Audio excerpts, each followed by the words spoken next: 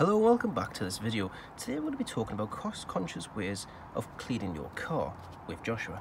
And today we're going to be talking about how to clean black trim panel pieces like this. And also like this. And uh, there's lots of things you can get on the market. There's things like Back to Black which uh, restores it, but it's like a fiver. And the thing is, it only lasts for like a month and it goes back to a horrible grey. So these these panels panels here are really good like these were done nearly a year ago. And you might ask yourself, what product did they use? Was it a very expensive product? Was it something that cost about a million quid? Actually, it cost one pound, uh, sorry, one pound from the pound shop.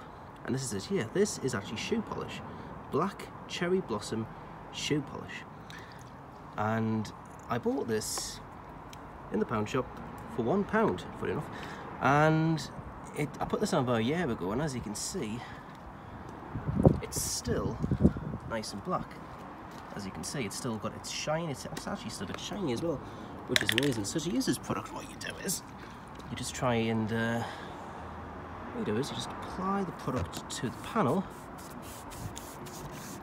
You move from side to side,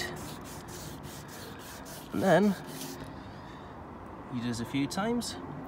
that's all you do. Shoe polish on trim panels.